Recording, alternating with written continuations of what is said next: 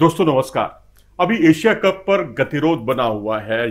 Dubai में meeting चल रही है। रविवार को मीटिंग हुई, सोमवार को आज भी मीटिंग है और उसमें एशियन क्रिकेट काउंसिल के प्रतिनिधियों से मिल रहे हैं। पीसीबी के जो ऑफिशियल्स हैं जका अशरफ की अगुवाई में, और यहाँ पर अभी तक कोई निष्कर्ष नहीं निकला है, और एसीसी अभी तक चुप है पूरे मामले में। पाकिस्तान क्रिकेट बोर्ड की यही मांग है कि चार मैच उन्हें सिर्फ़ मिले हैं, और उसके बाद बाकी जितने नौ मैचेस हैं, वो सब पाकिस्तान में हैं। क्षमा कीजिएगा, श्रीलंका में है। तो ऐसी स्थिति में जो रेवेन्यू शेयर्स है वो उनका बढ़ना चाहिए, उनको रेवेन्यू का बहुत बड़ा नुकसान हो रहा है। यहाँ तक कि इंडिया और पाकिस्तान के मैच जहाँ से अच्छा खासा रेवेन्यू आता है, अच्छी खासी गेट मनी आती है, वो भी श्रीलंका में आयोजित किए जाएँगे। तो दो मुकाबले वहाँ हैं। तो अब उनकी तरफ़ से एक और प्रपोजल आया है, क्योंकि अभी तक एशियन क्रिकेट काउंसिल का रवैया अभी तक बहुत ही शांत रहा है, क्योंकि उसका एशियन क्रिकेट काउंसिल के शांत रहने का अंदाज़ा आप इसी से लगा सकते हैं। शायद वो ये कहना चाह रहा है कि आपने मांग तो सही रखी है लेकिन गलत गलत समय पर रखी गई है,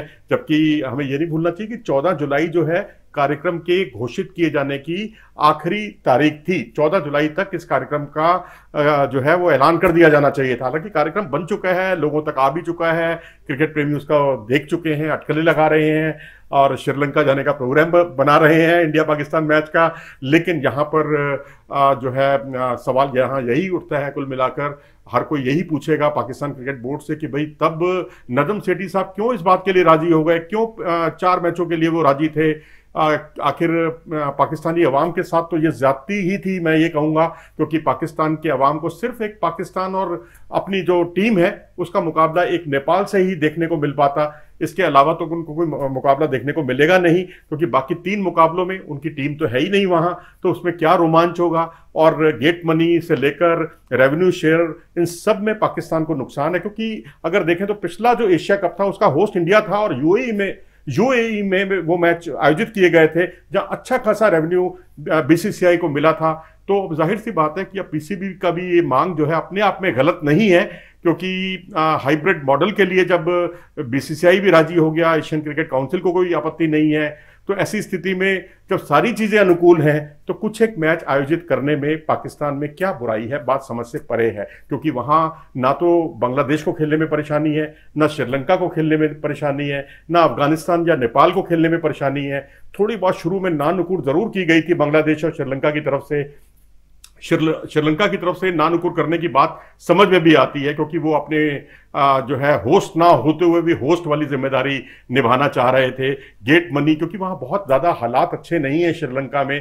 तो अब सवाल है कि दूसरे के फटे में टांग अड़ाने का कोई मतलब नहीं है। अगर पाकिस्तान क्रिकेट बोर्ड के पास इसके राइट्स हैं तो होस्ट होने के राइट, राइट्स होने का मतलब ही यही है कि पाकिस्तान की इसमें चलती वही जो है वहाँ ज़्यादा से ज़्यादा मैच हो आयोजित किए जाते और हाइब्रिड मॉडल जो है उसमें अगर भारतीय टीम पाकिस्तान नहीं जाती है जो कि भारतीय टीम ने मना भी किया था बीसीसीआई के माध्यम से तो ज़ाहिर सी बात है कि वो, वो सारे मैचेस जो हैं ऐसे मैचेस जो है वहाँ आप श्रीलंका में करा सकते हैं। तो ज़ाहिर सी बात है कि अब ये चीज़ें थोड़ी सी अब इंडिया पाकिस्तान तो खैर श्रीलंका में ही होगा लेकिन अब पाकिस्तान ने दो चीज़ें रखी हैं कि या तो आप यूएई में कुछ मैचेस का आयोजन कर दें, कम से कम इंडिया पाकिस्तान के मैचों का ही आयोजन कर दें, ताकि गेट मनी से उनको अच्छी खासे राजस्व की रेवेन्यू की प्राप्ति हो, और रेवेन्यू शेयर वाले तरीके से तो वो बिल्कुल भी सेटिस्फाइड नहीं है।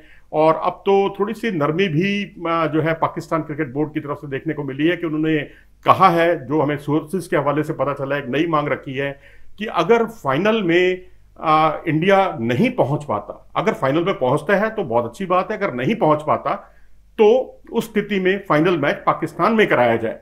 हालाँकि ये मांग भी बड़ी जेन्युइन सी मांग है कोई इसमें गलत मांग नहीं है लेकिन बहुत देर कर दी है पाकिस्तान क्रिकेट बोर्ड ने और वहाँ थोड़ी सी मजबूरी कह लीजिए क्योंकि वहाँ तब नजम सेठी साहब थे आ, सत्ता में और अब जो है जका अशरफ साहब हैं और उनको हुकूमत की हुकूमत की बात माननी है लेकिन पीसीबी को भी अपना नफा नुकसान तो देखना ही है ना। तो अब जब इतना नुकसान होगा तो कोई क्यों एशिया कप के लिए आप अपना नाम भी कराएँ और आपको पैसा भी ना मिले? पैसा मिले तो बहुत कम पैसा मिले। तो क्योंकि उससे कहीं ज़्यादा पैसा तो भारत को मिला था बीसीसीआई को मिला था पिछला आयोजन कराने कर, कराकर।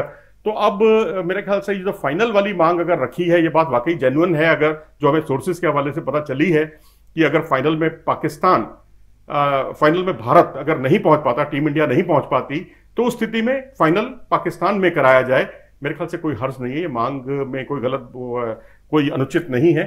और दूसरा, वो कुछ ये भी कह रहे हैं कि अगर इंडिया पाकिस्तान के मैच ही आप कम से कम यू ए में करा दीजिए तो उससे भी उन्हें अच्छे खासे राजस्व की प्राप्ति होगी। मांगे सारी सही है, सही मांग गलत समय में। थोड़ा पहले कर देते तो और शायद स्थिति बेहतर होती। लेकिन अभी एशियन क्रिकेट काउंसिल के कोर्ट में गेंद है, वो इस पर क्या रिएक्ट करेगी, ये देखना दिलचस्प रहेगा। आप क्या सोचते हैं? अपनी राय कमेंट सेक्शन में ज़रूर दें। अगर आपको ये वीडियो पसंद आया हो तो इसे लाइक करें और चैनल को सब्सक्राइब भी करें। नमस्कार।